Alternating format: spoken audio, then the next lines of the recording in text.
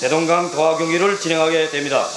언제나 청소년 체육 사업에 깊은 관심을 돌리고 계시는 경의하는 아버지 장군님께서는 지금으로부터 10여 년 전인 1996년 8월 31일 청년절 제종 다섯 돌을 맞으며 평양시 학생 소년들이 대동강 도하 경기 시작을 선언합니다. 강원중학교 중기선 2차 구도로 설정했습니다.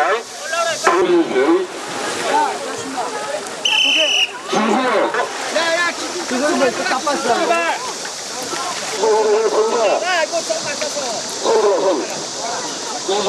전자 그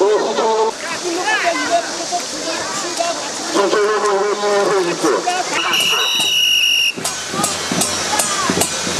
사수 사수 수학유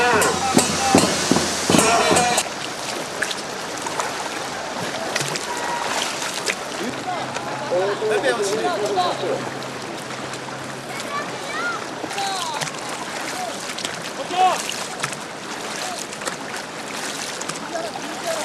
não, não, não, não.